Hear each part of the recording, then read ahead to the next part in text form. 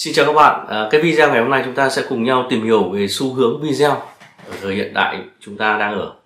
À, và các bạn đã biết trên các mạng xã hội như là TikTok, à, Facebook, YouTube đều cung cấp cho chúng ta những cái nền tảng video. Và chúng ta sẽ thấy được những điều gì từ những video trên nền tảng đó. Thì cái khởi điểm mà cái người khởi xướng ra cái việc tạo video ngắn thì đó chính là TikTok và ở đấy thì rất được sự cuốn hút của nhiều người. Và dần dần nó lấy được cả thị phần của thằng YouTube và thằng Facebook. Họ có xu hướng, những cái người xem của chúng ta có xu hướng là gì? Xem những video ngắn và không xem những video dài. Bởi vì thời gian cũng không có nhiều, đúng không các bạn để mang tính chất giải trí càng ngày càng cao hơn. Cho nên là gì? Một cái video ngắn thì nó làm cho gì chúng ta sẽ dễ dàng tiếp nhận. Và thời gian ngắn nữa thì càng dễ dàng để xem hơn vậy thì từ cái uh, tiktok facebook và youtube chúng ta sẽ thấy rằng là gì? Video ngắn chính là xu hướng video. Và chính vì nó là xu hướng video ấy thì chúng ta cũng phải có một cái lưu ý đó là gì? Khi chúng ta quay một video kể cả ngay khi các bạn hướng dẫn thì các bạn phải ngắn gọn.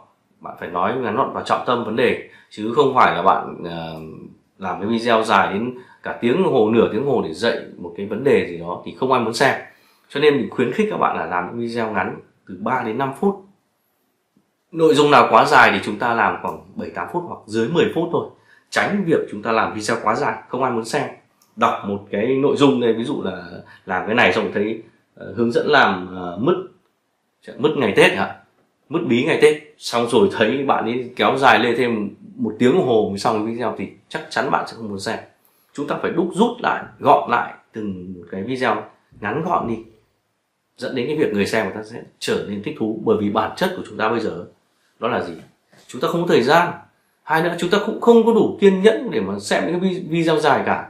Chứ khi các bạn xem phim trưởng bộ hay là xem phim Hàn Quốc thì bạn cần dài đúng không?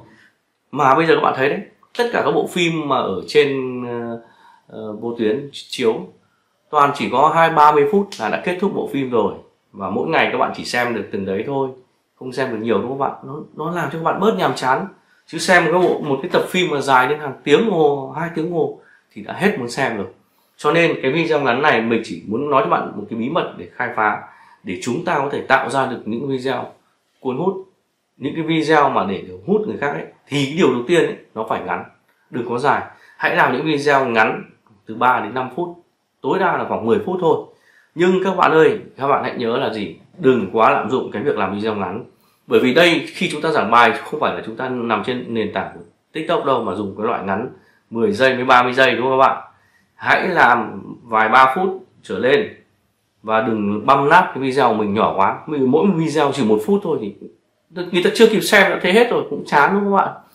Như vậy là chúng ta phải lưu ý là gì? Làm video ngắn và chắc gọn nội dung vào trong cái video đó không để nó dài lê thê. Nhưng mà cũng đừng băm nát video đó chính là một trong những cái mà chúng ta cần phải lưu ý nhé các bạn nhé. Và cái video ngắn này mình xin được kết thúc ở đây. Hẹn gặp lại các bạn ở video tiếp theo. Xin chào và gặp lại. Bye bye.